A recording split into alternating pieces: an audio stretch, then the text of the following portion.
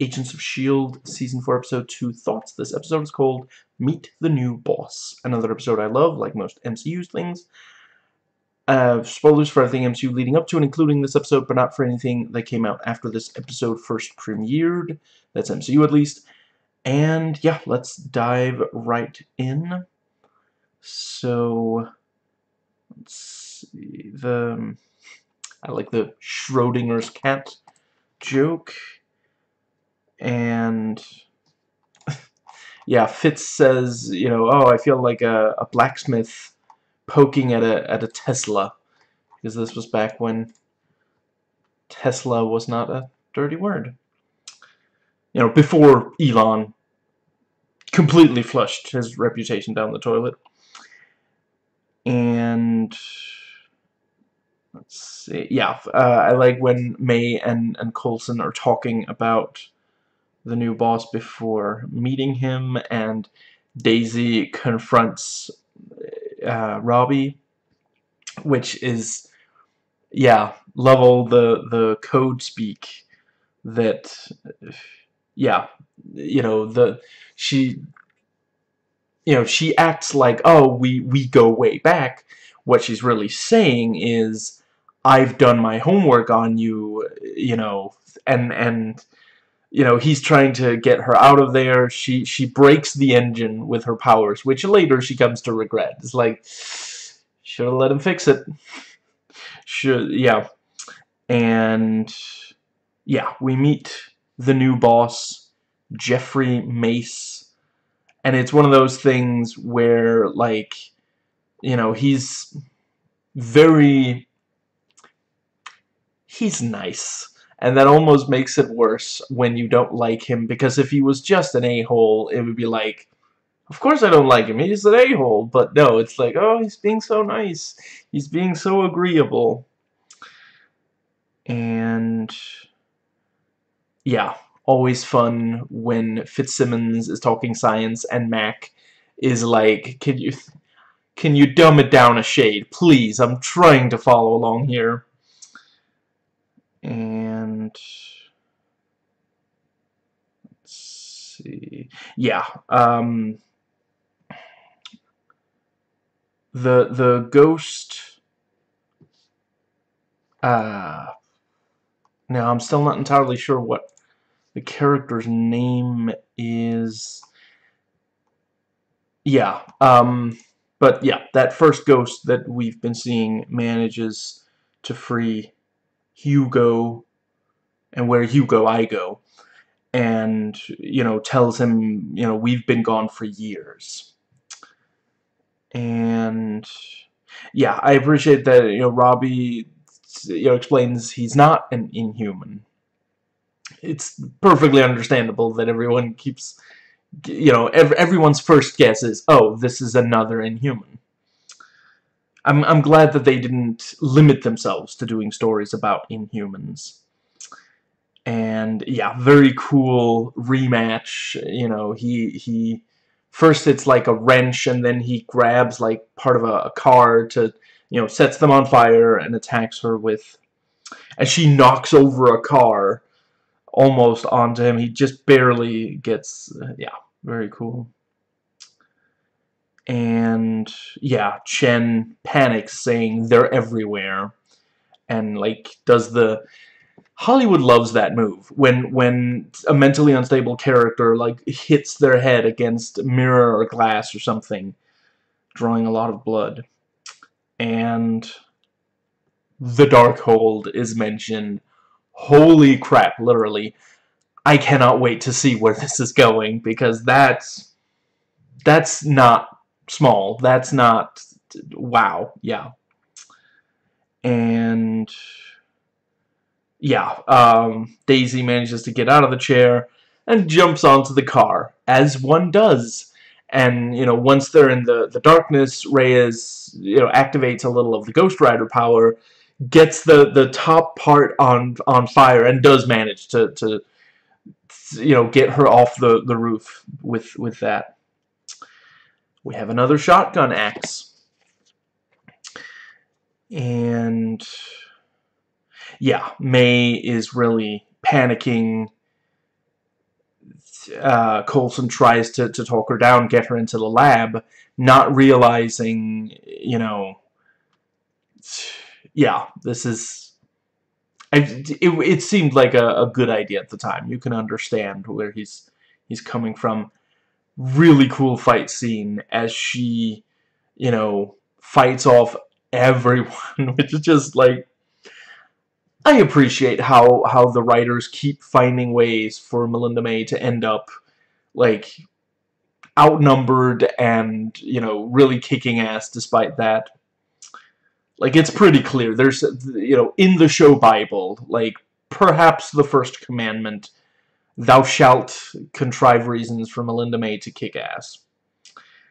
And yeah, we see that Jeffrey is inhuman and he's got super strength as well as superhuman, like, you know, he can, um, in, endure, endurance? No, like, yeah, he can, he can really take a punch, which, you know, if you've got super strength, you're probably not very much use if you, you know, you can't lift something really heavy if your muscles can't take that extra pressure, so and yeah, the um, let's see, yeah, uh, Daisy. Oh right, yeah, yeah, very cool when when Ghost Rider takes care of the the ghost, which is also clever because because yeah, you know that's like he burns the soul, not he doesn't need the corporeal form there in order to to kill someone or I guess in this case send them to hell. I mean, they only go to hell when he kills them. But I guess this guy is technically already dead. But yeah, you know. Uh, but, but yeah, um, Daisy, Fitz, and Mac talk about Ghost Rider. And yeah, Mac realizes, you know, Yo-Yo has been working with Daisy. That's why the supply is always low of the painkiller, uh, not painkiller, bone healing drug. And yeah, neither Mac nor Fitz are particularly happy to learn this. So yeah, we, you know, this is very early in the season. I haven't watched past this, but I can imagine, like, over the course, maybe not this season, but over the course of the rest of the show, I could imagine that this will heal, but this is them saying, you know, this is not nothing, you know, this is not something you just shrug off, you know, her, like, they do feel like she turned her back on them, like she abandoned them. Mace's joke about, you know, the climate change accord is not enforceable. Yeah, it's funny because it's true. And, yeah, Mace, you know, is not going to tell Coulson what he's doing with, with May. It's classified. And in the post-credits scene, yeah, and, and also, like, really devastating seeing May, you know, strapped down and really, like, horrified, really, you know, yeah, trying to get free. And then, uh, yeah, the post-credits is Robbie, you know, saying, you were wondering about what connected all this? Yeah, sorry about your car it might be me. You know, yeah, very, very cool. Really looking forward to seeing what happens next there. And I just, you know, I kept thinking, I've seen Gabriel Luna before. He played the Terminator in Terminator Dark Fate. So, yeah, um, he's incredibly cool in, in both of these roles. So, yeah, really, really glad to be seeing him in in something else. So just yeah, he he was he was so freaking good. Like there's a lot of problems with that movie. He is not one of them. So uh, IMDb trivia for this episode, and oh okay. So in the in the Marvel mainstream continuity, Jeffrey Mace is known as it says Patrio. I'm guessing Patriot a non-augmented human but very capable fighter. The third Captain America held the role longer than Steve Rogers before Rogers was found in the ice and the uncle of General Thaddeus Ross. And Huh. This is the second comic book character Jason O'Mara has played. He voices Bruce Wayne slash Batman in six DC animated movies. The title is half of the well-known expression, meet the new boss, same as the old boss. The title of this episode is a lyric from the song Won't Get Fooled Again by The Who. And... Okay, so there's a... Hmm. Yeah, this is, this is backstory that might come up in a later character. Right, yeah. When Fitz is talking about the ghost, he mentions Tobias Ford, a similar ghost-like character in an earlier episode. Oh, right, way back, yeah. Uh, season 1, episode 9, episode Repairs. Um, let's see. Right, so, yeah, uh, Jeff Mace in the comics been around since 1941, but in 76, Marvel revealed via retroactive continuity, a retcon, that Mace had become the third Captain America sometime after his World War II era adventures. In the comics, he has no superpowers, but it is an incredible hand-to-hand -hand combatant. This episode, he says he's an Inhuman with enhanced strength, some level of vulnerability, so the show tailored this character to fit the Inhumans mythology of the show. And... Huh.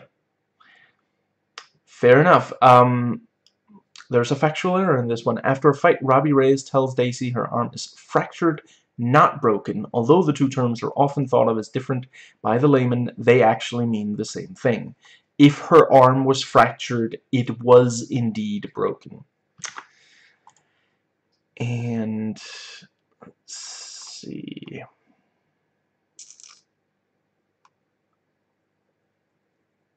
Yeah, the the um, I I like when when Robbie points out, you know, Daisy says, "Threaten me all you want. You think I'm afraid to die?" And he says, "I think you want it." And let's see. yeah, I like that, you know, Phil is starting on this big speech. And, you know, Mace is like, Phil, it's okay. She was your friend. Loyalty is a good thing. But I, I had a whole speech ready. I'm sure it's good. Use it next time. because there is going to be a next time. And it's going to be so similar that the speech is going to work for that one as well you know, he, he's not like I'm I'm firing you. This can't happen again. He's like, I mean, let's just let's let's set the clocks and and yeah, eventually this is gonna happen again. and Fitz says, "Cue Jemma gasping," and then she gasps. That was that was pretty funny. Let's see. I like when Fitz says, "You're an engineer, Mac, and a small tank." And yeah, when, when Fitz points out the place is creepy, and Mac says, you ever notice we never get to check up on, like, a brightly lit place filled with nice, friendly people?